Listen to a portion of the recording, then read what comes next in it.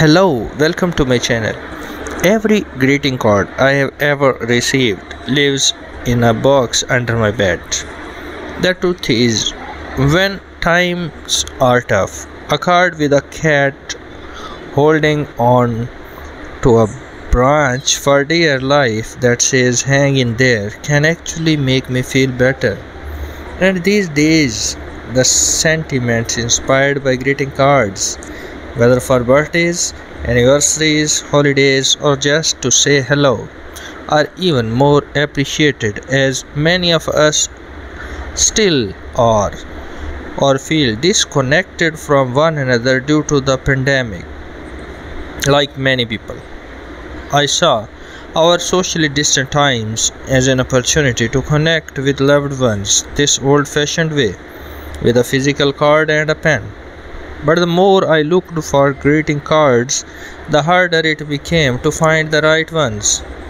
The best greeting cards speak to a recipient's identity and personality, but I couldn't find a lot that are inclusive to all ethnicities, cultures, or people with disabilities.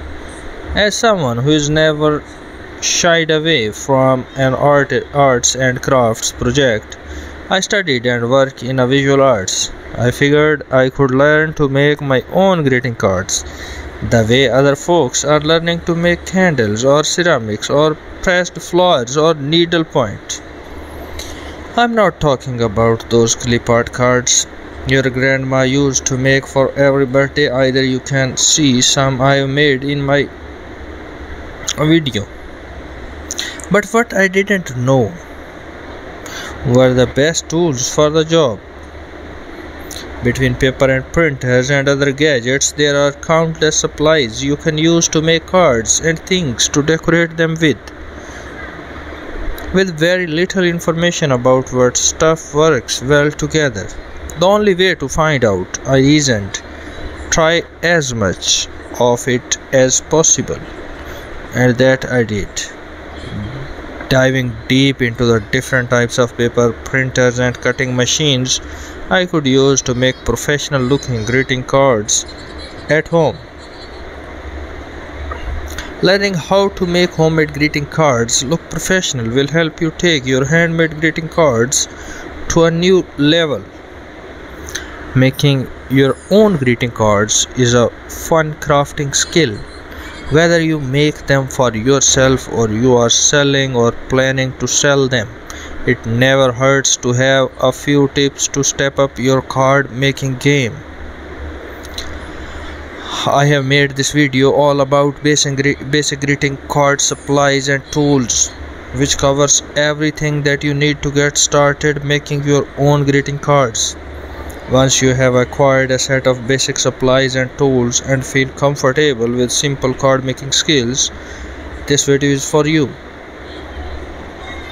You will be able to take your homemade greeting cards to a whole new level, wowing friends and family and bringing in more customers than ever.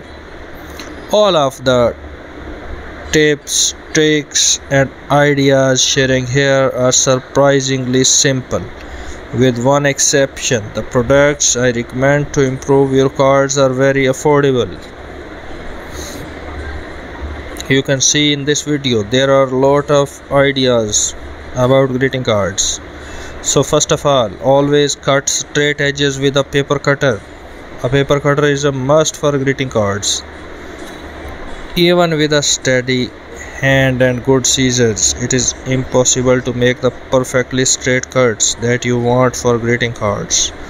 A paper cutter makes the job quick and easy. So always use a paper cutter on a flat surface with a self-healing cutting mat underneath it Use double-sided tape for large pieces and wrinkle-free paper glue for small pieces. Layer multiple papers. And use high quality stamps and ink pads for making greeting cards. Add multiple colors to a single stamp. And one more thing to remember add dimensional elements with foam squares foam mounting squares allow you to add dimensional elements to greeting cards in seconds. Dimensional elements add visual interest and allow you to draw attention to certain components. One more thing is add non-paper details. Non-paper details add more visual interest to greeting cards. I hope you enjoyed these amazing greeting card ideas. For more DIY ideas please keep visiting the channel. Thank you